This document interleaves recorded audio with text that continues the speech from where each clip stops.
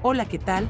Bienvenidos a su canal Noticias de hoy, donde recibe las noticias más importantes del país y el mundo. Si eres nuevo, no olvides suscribirte y activar la campanita de notificaciones para que no te pierdas ninguno de los videos que subo al canal. Asesinan a tiros a Adrian Payne, es jugador de la NBA.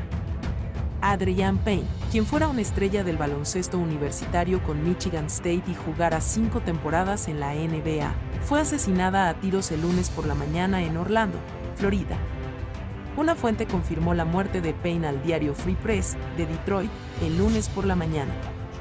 Alrededor del mediodía, la oficina del sheriff del condado de Orange en Florida anunció que respondió a una llamada a la 1.37 am de un hombre al que le habían disparado.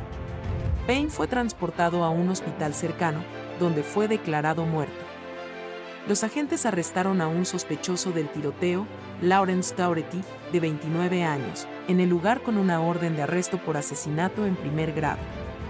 Payne, un nativo de Dayton, Ohio, de 31 años, jugó para los Spartans de 2010 a 2014 y ganó los honores del segundo equipo al Big Ten en sus temporadas junior y senior rompió el récord de postemporada de MSU con 41 puntos contra Delaware en la primera ronda del torneo de la NCAA de 2014 y terminó su carrera como el líder de todos los tiempos de MSU en bloqueos, desde que lo rompieron Xavier Tickman y Marcus Bingham Honey.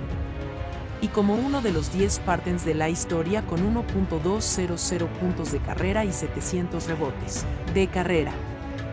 Quizás su mayor legado llegó cuando el alero de 6 pies 10 pulgadas se hizo amigo de una joven de St. Holmes, afectada por cáncer, Lassie Holsworth, quien se convirtió en un elemento fijo en los Spartans 2013 a 14.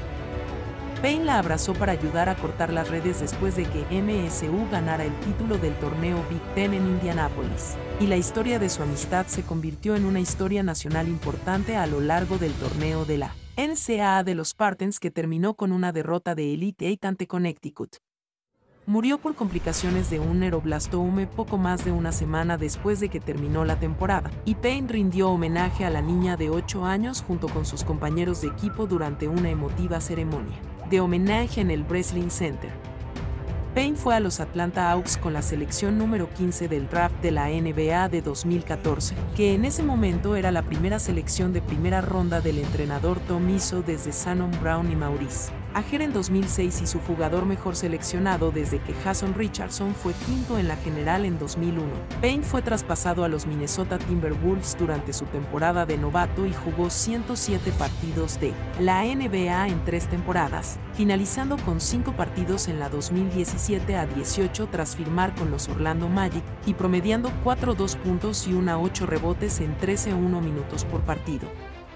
El Magic lo liberó después de que su nombre apareciera en un informe de ESPN sobre una supuesta agresión sexual que involucró a Payne y al exguardia de MSU, Kate Tapling, durante su primer año en MSU.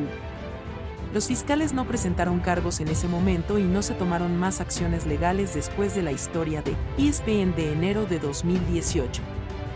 Luego, Payne rebotó en el extranjero. Terminó la temporada 2018 con el Panathinaikos en Grecia después de ser cortado y luego jugó brevemente en China a principios de 2018. Regresó al Panathinaikos a principios de 2019 y ayudó a ganar una Copa griega de baloncesto antes de ser liberado en marzo de ese año.